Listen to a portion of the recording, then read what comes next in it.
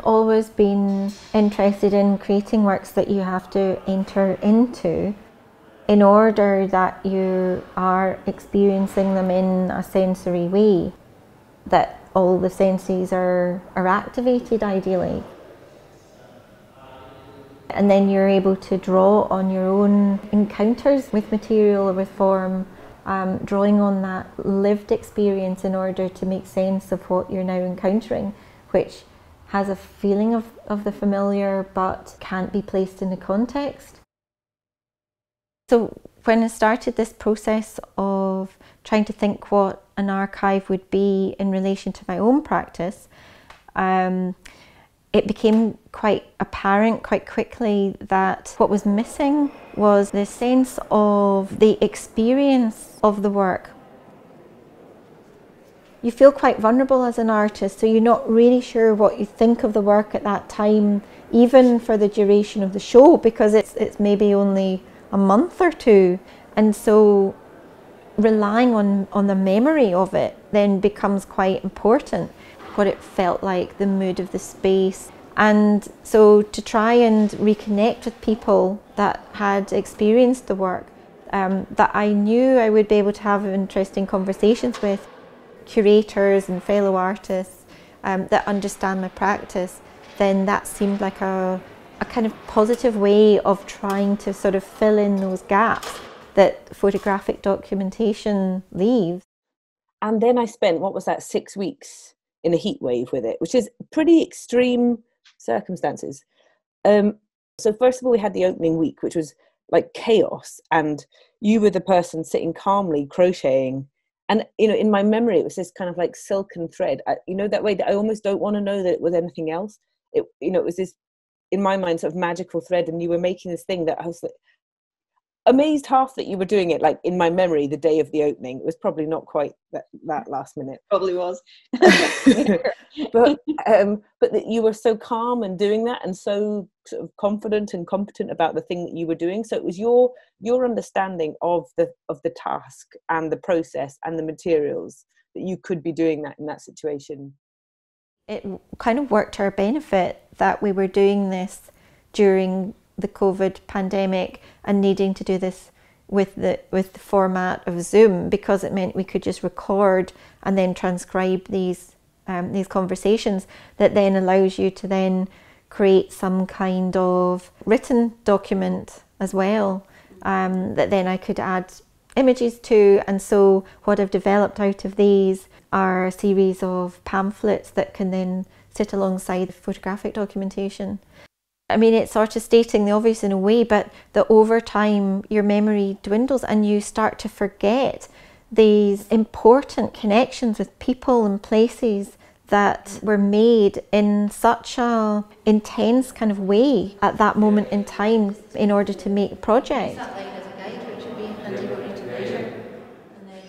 And so it was really important to be able to sort of reconnect with, with these people and places. What became evident through this process for me was a really strong sense that I had a responsibility to all the people who have provided me with the opportunities that I've trusted in my practice over time, from young artists to emerging artists to, to now, that they have given me the complete freedom to make the work that I wanted to make. And so, what's been really wonderful with this project is being able to work with Marissa, who's making a film, you know, about the process of the work coming into being.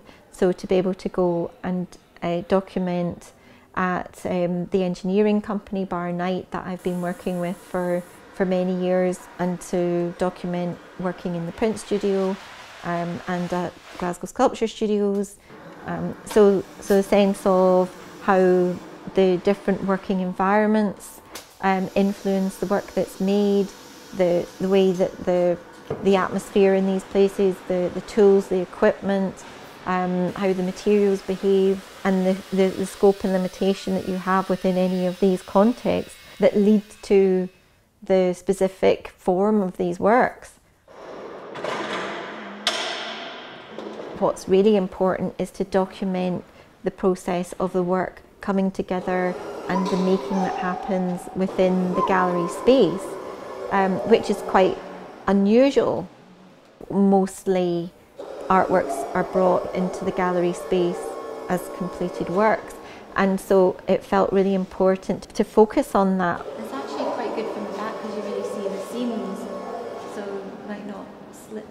The kind of unique nature of how that happens within my work, um, and to document that. Started to spark ideas about more unconventional approaches to you know to how this archive would um, would take shape. And so to be in control of that really allows you to work in much more playful and interesting more dynamic ways there's lots of images here of um, of ideas for the for all the different elements of the works. It kind of shows that for me there wasn't this definite division between drawing and sculpture. When you actually look back on this, um, I'm not really sure what I was thinking at the time. You're going through this constant process of editing that then actually you might go back to later and think, oh, actually, I see that in a completely different way. So yeah, here's one from art school. So you can see how, you know, I've been incorporating material into drawings um, from way back then.